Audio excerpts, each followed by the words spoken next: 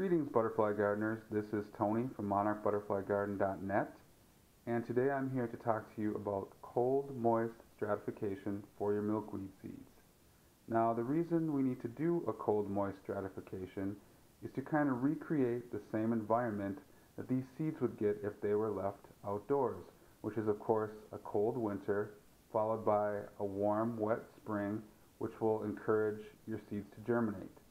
So in order to do this indoors, what we'll need is, you'll see below, I've put the seeds inside of coffee filters.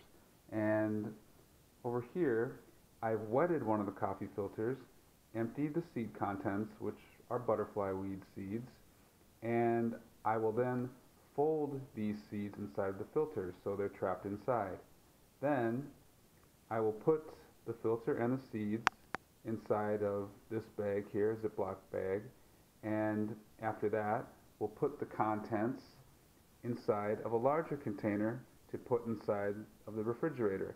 And this food storage container just protects the seeds while they're inside of the refrigerator. You'll see I already have a bag inside that's listed as butterfly weed dry and I'm also going to be putting this inside with those seeds and doing a dry cold stratification on here. So in about a month I will plant all of the seeds and then I'll see if there's a difference between doing a cold moist stratification and a cold dry stratification and I will get back to you and report the results in about a month.